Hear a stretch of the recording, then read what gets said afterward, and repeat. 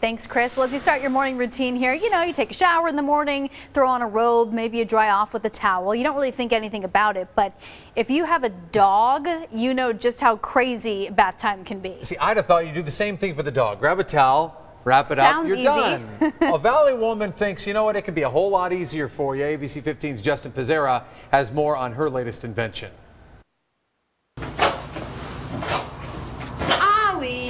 It's probably one of the most frustrating parts of washing your dog, trying to dry them off. Now you have to catch them, and they're dripping all like this and shaking their heads. And now you have to get them in the towels, and one towel's not enough. It's really one of the main reasons Shari Mindlen started her company, Dripping Dog.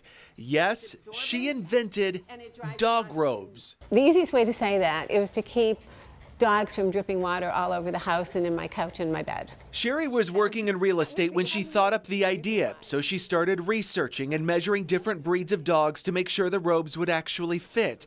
She started a Kickstarter campaign to raise the money. Then it came time to actually make them.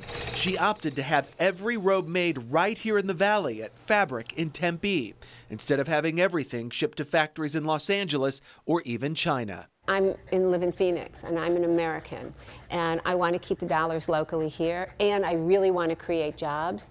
20% of the profits will go to animal shelters, getting animals off the streets and adopted, and maybe into a robe. In Tempe, Justin Pazera, ABC 15, Arizona. I mean, the photo op alone could be worth buying one of these. I'm sorry, the dog seemed like it was saying, get this off of me. I know, I'm tied in here. So the robes, they're not cheap. They cost $69.99. Okay. Uh, but she does have several more products on drippingdog.com if you want to take a look. Looks like they work. Yeah, whatever makes it easier, right? All right. Well, start